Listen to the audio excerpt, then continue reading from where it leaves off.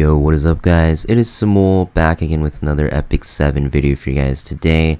And today we're going to be talking about the update and patch that just released for the game.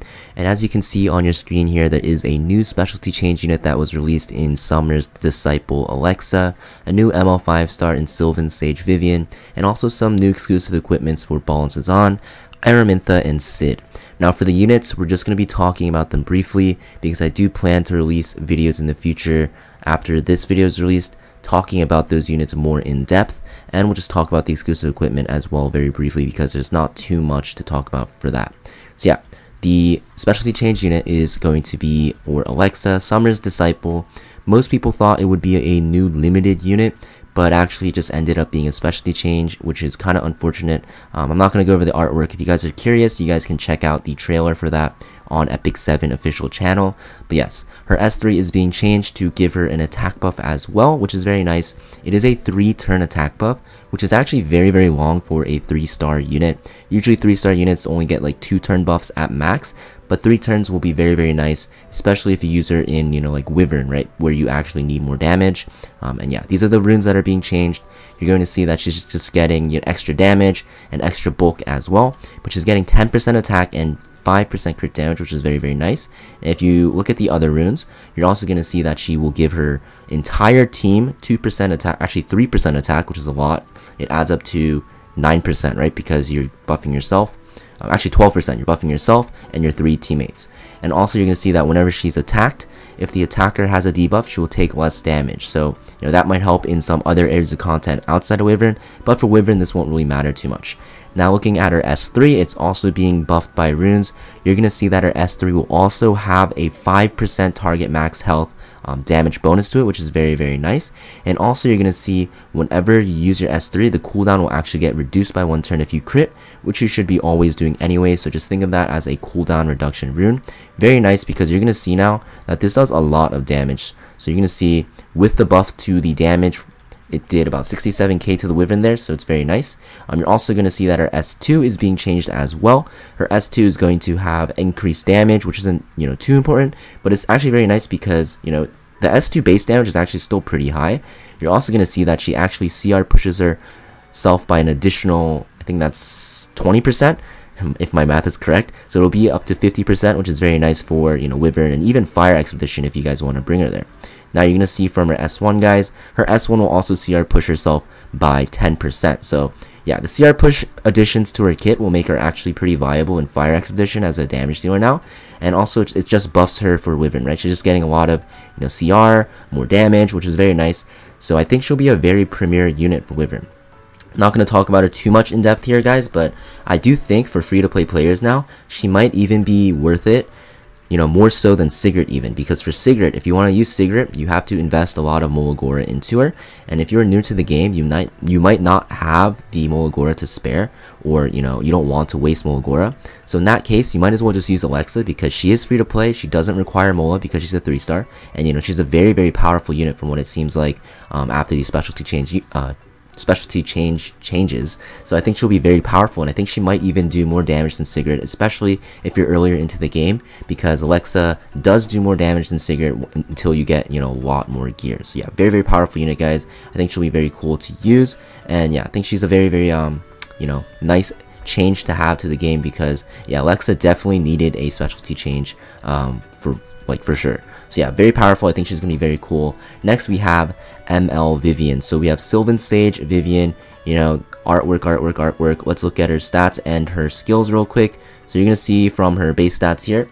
So Actually, I skipped over it, but her base stats here, you're going to see that she has very high attack for a mage, actually pretty average. Mages all have high attack, but her defense is pretty high. And you're going to notice that her imprint concentration here is going to be critical hit chance. So it's very, very nice. This unit is going to use imprints very well because critical hit chance is the best imprint in the game outside of these speed imprints. So very, very nice. Um, if you guys have spare Vivians, you should imprint her. She's going to be very powerful. If you look at her kit, I think she'll be very fun to use because, yeah, as you can see from her kit here, her S2 is going to be a focus based mechanic. Basically, she'll take less damage over time. We'll talk about it more in depth later, but basically, she's just going to take a lot less damage. Whenever she's attacked, right, if she's taking more than 25% of her max HP in that attack, she will use one focus only to decrease damage suffered and decrease skill cooldowns by one turn. Now, this sounds ridiculous because it's only consuming one focus. You don't need five focus for this to proc, you only need one focus. So you're basically resetting the cooldown of your skills very frequently of your S3, and also you're just going to be super, super tanky. So it seems really annoying, and seems kind of overpowered in my opinion. But yeah, you're going to see your S3 here is an AoE attack that will have a crit hit damage buff for all your allies. It is thunderstorming outside, wow. And will also recover HP and also increase attack of herself. Now the attack buff for herself is not actually a buff, it's just a stacking effect, similar to like Landy's S2 or even, you know, Lorina's S2 or even Luluca's S3. And you're gonna see, you're gonna recover your HP proportional to the target's max HP. So yeah, she's very bulky, she has a lot of um, buffs for her team with a crit hit damage buff. She's going to be scaling over time in a longer fight, and she also has sustain. So I think her kit seems a little bit overloaded here, you know? Um, let's look at the animation real quick. So you're going to see it looks pretty nice, actually. Uh, actually, very, very nice. Um, but I think she's going to be uh, really annoying to deal with because she seems like she's very tanky, right, already, and she has a lot of sustain, and she has, you know, her S3 is going to be cycling very quickly. And you're also going to see, talking about cycling, guys, her S1, single target attack, will increase speed of herself, so she'll actually cycle herself pretty quick, and you can actually soul burn this to make this an AoE attack. Now, this is very nice for pulling units out of stealth, such as like Landy, and also hitting, you know, units that are in perma stealth, like Spectre Tenebria. So instead of, you know, just having a basic S1, um, they actually made it so, you know, she gets speed and now you can also soul burn it to actually make it an AoE attack, which is very, very nice. So yeah, ML Vivian guys, I think she'll be very, very powerful. We'll talk about it more in depth later on, but I think she's definitely going to be at least like above average for PvP. PvE won't be used that much, but she looks pretty cool and, you know, Unfortunately, it got censored of it, but you know that's that's a topic for another video. But yeah, I think she's a very very cool unit, and she seems pretty strong. Now let's talk about the exclusive equipments real quick. So the first one is going to be for Baal and Sezan. It will give him attack, and then you can see here he can either get damage on his S1 or on his S3 he can get a dispel or an increase of the you know effect chances of the debuffs. So I don't think this will change him too much. I still think he'll be an Earth Expedition slave. You're just basically going to get the S1 uh, exclusive equipment here on his Ghost Taunt and just slap it on him for your Earth Expedition team. And he's still probably only going to be used for Earth Expedition, but I guess the damage is nice for increasing your score there. Next we have Araminta. So this one is very very very interesting you get speed as a base stat here. So it will make her a pretty viable opener. She'll be able to contest some more speed um, tiers. And you're going to see here that she actually will get one on her S1 that will actually increase the chance of burn, one for S2 to actually increase the CR push, and also S3 to increase the chance of stun. I think S2 and S3 are your best options here. It really depends on how you want to play her, whether as a disruptor or just a pure opener. Really up to you, but yeah, definitely a cool change because Araminta did get some buffs, some changes actually, and she looks pretty fun to play and now with this exclusive equipment maybe it'll be a lot easier to use her because her problem was that she was getting outspeed like outsped a lot right? So I'm pretty cool. Next we have Sid's so Sid is really weird in that he's getting effectiveness for his exclusive equipment. I don't know why he's not getting attack or even speed or anything but effectiveness, honestly, even HP. but yeah, we're getting effectiveness. And you're going to see that he has one on his S1, where he'll, where he'll have a chance to decrease speed of the target.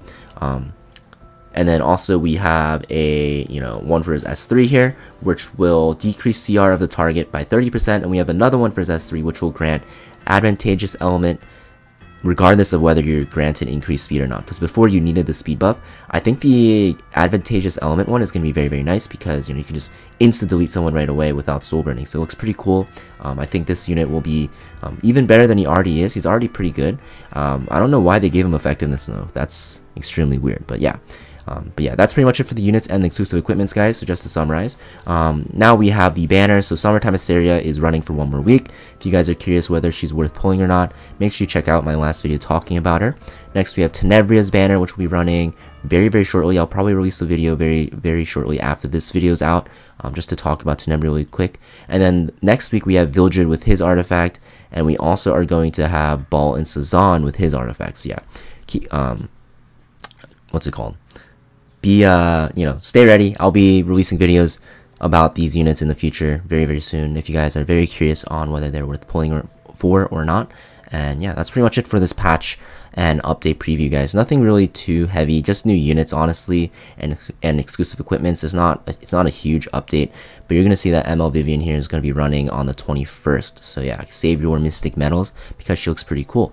So yeah this patch isn't anything too crazy guys. Just new units and yeah just new banners and exclusive equipment so stuff like that. Hopefully they release a bigger patch very soon. If you guys are wondering when summertime or not summertime Iseria when Seaside Bellona is coming out guys she'll probably be coming out very soon I'd say by the end of July or early August, so don't worry too much about that. Um, they're just baiting you with banners right now, so yeah. That being said, guys, hope you guys found this video helpful, guys. If you guys want to see more of these, you know, patch previews and, you know, you know, updates, then let me know in the comments down below and also hit that like button. I'm planning to release these, you know, more frequently because there are patches pretty you know regularly. Um, i'm gonna try to release them in a timely manner right after the patch gets released. So yeah thanks for watching guys and i'll see you guys next video. Peace